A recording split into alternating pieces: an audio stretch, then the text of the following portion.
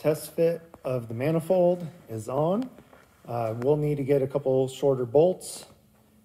I got the transmission and everything looks to be, um, you know, up and ready to go. And we've got the CRV inside. So I got the Hasport mount back there on the back. I went ahead and did a, you know, just a aftermarket new mount on the side.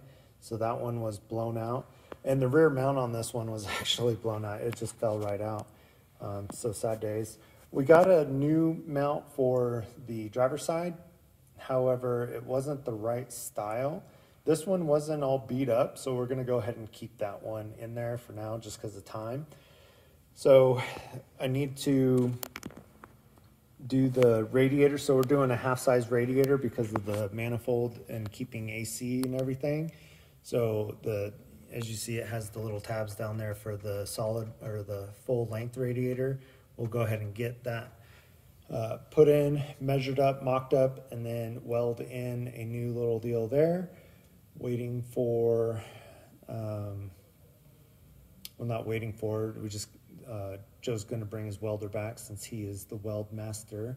I do not know what I'm doing when it comes to welding.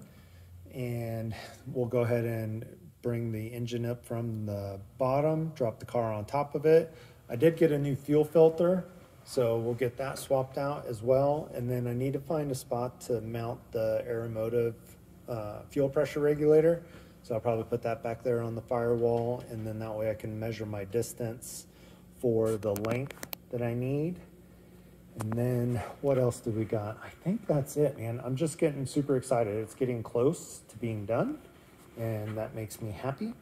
So once I, uh, oh, so totally forgot to tell you, the distributor is different uh, as far as the plug is concerned on the CRV to the Integra style.